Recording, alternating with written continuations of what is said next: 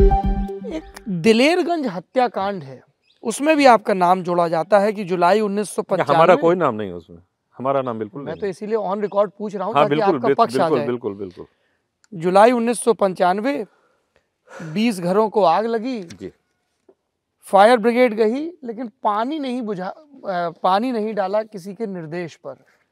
घर जल गए। द हिंदू में एक रिपोर्ट छपी जी। अखबार अच्छा वो हमने नहीं पढ़ा लेकिन अब एक युवक ने कहा कि हमने राजा भैया को लगान देने से मना कर दिया।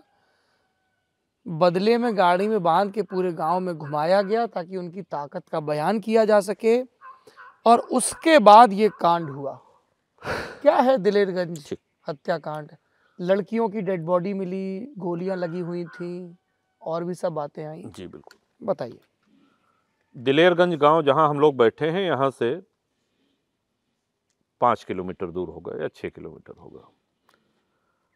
ये अलग बात है कि हम और आप एक टॉक शो में बैठे हुए हैं और हम कहें तो हो सकता है आपके लिए संभव हो या आप ना जाना चाहें अलग बात है। लेकिन हम चाहेंगे कि आपके रास्ते में पड़ता है ज़रा पाँच मिनट वहाँ रुक के इंडिपेंडेंटली पूछते हुए जाइए। पहली बात उस दिन हम लखनऊ में थे। विधानसभा चल रही थी। जी। और ये स्टेट गेस्ट हाउस कांड का जो हंगामा हुआ उसी के इर्द गिर्द के शायद ये दो जून वो था ये छः जून था या ऐसे कुछ या पाँच जून की घटना जी है। जी। जी। तो उस समय हर विधायक लखनऊ में था यहाँ कोई नहीं जुलाई की घटना है। नहीं। जून की है। स्टेट गेस्ट हाउस नहीं स्टेट गेस्ट हाउस तो जून की है ये जून की है तो ये भी जून का है अच्छा। तब ये मान लीजिए कि जून की है। जी। क्यों? उसी के सब उसी समय की बात। दो चार छः दिन का अंतर हो सकता है। हम्म। दो चार दिन का। अच्छा। एक बच्ची का रेप हुआ उसमें जो विटनेस था उसको दूसरे पक्ष ने ले जा करके काट करके हत्या करी। एक पक्ष उसके बचाव में आ गया। मृतक का नाम इसमें छेदी लाल मौर्य है। वो प्रधान थे। हम्म। और अ, घरों को आग लगाई गई। कई महिलाएँ उसमें डूबने से मृत्यु हुई है हम्म। गंगा जी में और ये बहुत दुखद एक हमारे क्षेत्र का वो रहा। हम्म। उस समय मोबाइल फ़ोन तो छोड़ दीजिए उस समय एसटीडी भी नहीं हुआ कर वो डायल वाला फ़ोन हुआ करता था बड़ी मुश्किल से जो है। तो जब हमको सूचना मिली तो हम लखनऊ में थे। हम्म। मायावती जी उस समय मुख्यमंत्री थी। दो ही चार दिन हुए थे बने उनको। और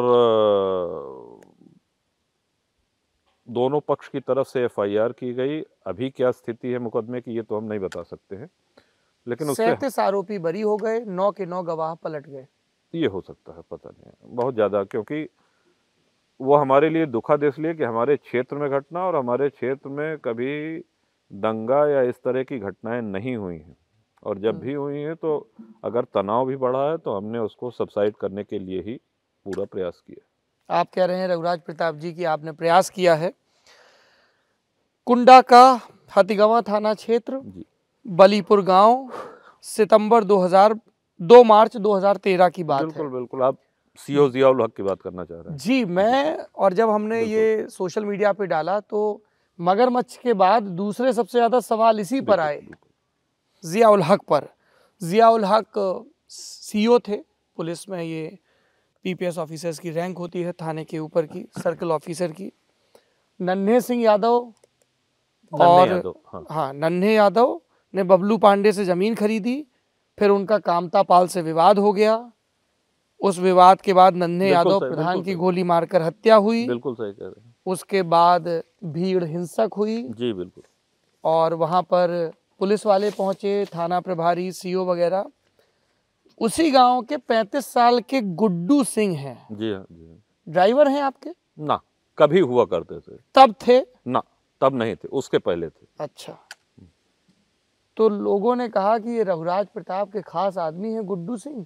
उन पर भी इल्ज़ाम लगे और सीओ की पत्नी जो है जी। उन्होंने बाकायदा नामजद। एफ़ करवाई।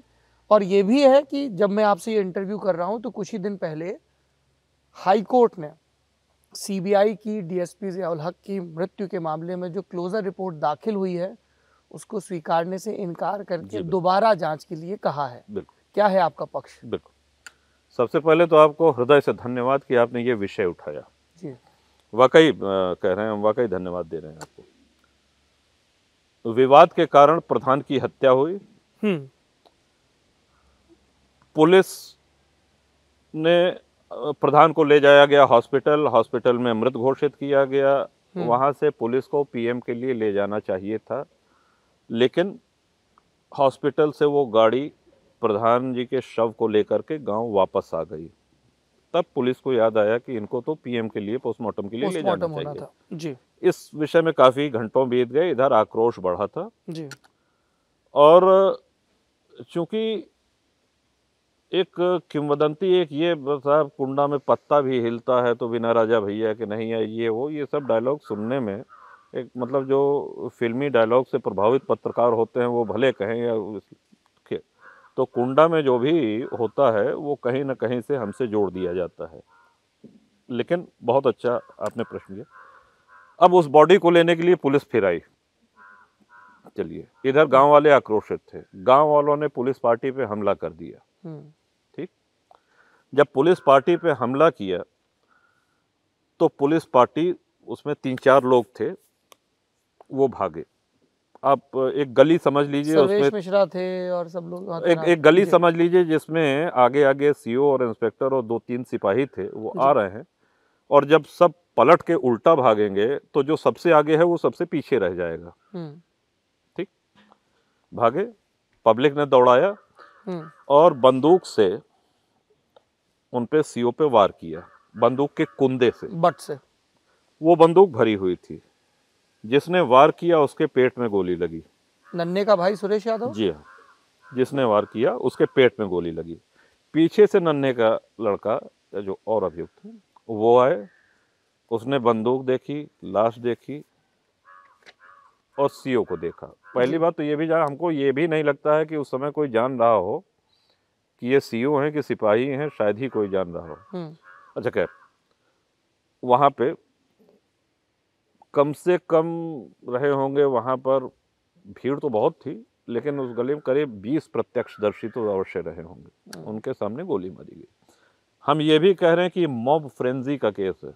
ये पूर्व नियोजित घटना नहीं है। हम्म कि इनको करो तो ये यहाँ आएँगे तो फिर तुम इधर से गोली मारना तो तुम उधर से कवर करना ये अच्छा दूसरी बात एक टेक्निकल हम आपको और बता दें। सीओ जियाउल हक की हत्या का कोई भी एफआईआर हमारे ऊपर नहीं है हम नामजद नहीं है उसमें। और डिटेल बता दे रहे हैं उस पर एफआईआर का फुल फॉर्म होता है फ़र्स्ट इंफॉर्मेशन रिपोर्ट। जी। एस आई आर नहीं सेकेंड इंफॉर्मेशन रिपोर्ट नाम की कोई चीज़ नहीं होती है। हम्म। जो एफआईआर है एक बहुचर्चित केस आपको पत्रकार अपने ये रिपब्लिक भारत वाले? अर्णव गोस्वामी। अर्णव जी वाला। जी। अर्णब जी के ऊपर जब वो सुप्रीम कोर्ट गए एफआईआर पे एफआईआर होने लगी सोनिया जी पे टिप्पणी के विषय में लेकर के मतलब सुप्रीम कोर्ट की एकदम स्पष्ट रूलिंग थी कि बाकी सारे एफआईआर क्वश कर दिए जाए। एफआईआर एक ही होता है। और कोई उस एविडेंस में सहायक कोई चीज़ हो तो उसको स्वीकार किया जाएगा। हम्म, लेकिन एसआईआर नहीं हो सकता। सेकेंड इन्फॉर्मेशन रिपोर्ट नहीं होती है। एफ़ में हमारा कहीं कोई नाम नहीं। दूसरा विधानसभा चल रही थी। पूरी विधानसभा के आगे कार्रवाई में आज भी दर्ज है। हमने स्वयं इस केस की सीबीआई मांग की, क्योंकि हम जानते थे कि इस सरकार में हम मंत्री हैं। प्रदेश की एजेंसी अगर जाँच करेगी तो पक्षपात का आरोप लगेगा। केंद्र में कांग्रेस सरकार थी। 2013 की ये घटना हमने स्वयं किया, बल्कि कुछ दलीय नेताओं ने इसका विरोध भी किया कि सीबीआई क्यों लोकल पुलिस जाँच करे? हम कह नहीं, लोकल पुलिस नहीं भारत की सर्वोच्च जाँच संस्था सीबीआई है और शायद ही कभी कोई ऐसा वो हो कि हालाँकि हम टेक्निकली आरोपी नहीं हैं, लेकिन फिर भी हम ये मांग कर रहे हैं कि इस प्रकरण की सीबीआई जाँच होनी चाहिए।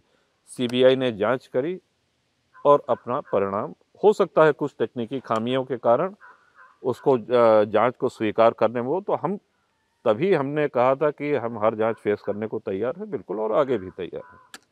रघुराज प्रताप जी, आपने कहा कि एफआईआर में आपका नाम नहीं था। जी। एसओ थे मनोज शुक्ला। उनकी हाँ मनुष्य उन्होंने एफआईआर की थी हथी गंवा के जी। पर इसके कुछ दिन बाद डीएसपी जियाउल हक की पत्नी परवीन आज़ाद जी। वो तहरीर देती हैं। जी। रघुराज प्रताप सिंह पर साजिश रचने का इल्ज़ाम आपके प्रतिनिधि हरिओम शंकर श्रीवास्तव कुंडा के जिला पंचायत अध्यक्ष गुलशन यादव रोहित सिंह और गुड्डू सिंह पर लूट बलवा और हत्या का मुकदमा दर्ज किया जाए ऐसी तहरीर। जी बिल्कुल जी। पहली बात तो कोई लूट नहीं हुई। जी। लूट तो हुई नहीं।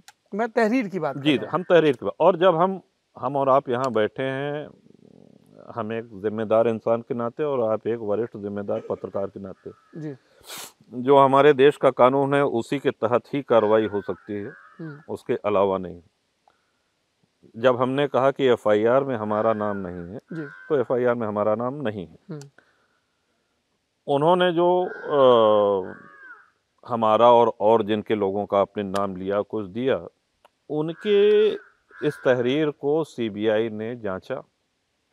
इन बिंदुओं की जाँच करी हम्म। पड़ताल करी। जो सच्चाई है सामने है और जिन्होंने हत्या करी वो आज जेल में है। हम्म। जिन्होंने हत्या करी वो आज जेल में है। ये इस तहरीर में एक नाम आया गुलशन यादव। जी। समाजवादी पार्टी से कैंडिडेट हैं। हाँ सुनते हैं कि घोषणा हुई। जी जी। दुरुस्त सुना आपने। जी। आपके खिलाफ चुनाव लड़ रहे हैं। लड़े लोकतंत्र है बहुत से लोग लड़ते हैं। तो क्या हुआ? ये दोस्ती राजनीतिक रंजिश में कैसे बदल गई? नहीं पहली बात तो दोस्ती वाली कोई वो नहीं है। लेकिन हाँ ठीक है जिसको जिस पार्टी से चुनाव लड़ना हो उसमें हम क्यों रोकें किसी को? गुलशन यादव को राजनीतिक मौके आप ही ने दिए। लोग तो कहते हैं कि हाँ आपकी मर्ज़ी के बिना यहाँ जिला पंचायत अध्यक्ष नहीं बन पाता था कोई। मर्ज़ी के बिना तो हम नहीं कहेंगे लेकिन जिला पंचायत अध्यक्ष जिसको चाहा है वही बना है। वो जीता है और लोकतांत्रिक ढंग से चुनाव लड़ा के जीता है। और जिला पंचायत अध्यक्ष ही नहीं चाहे ब्लॉक प्रमुख हो। आएँगे उस पर भी आएँगे। और वो हो तो उस पर। जीते हैं। ये जनता का स्नेह रहता है जन समर्थन है तो है।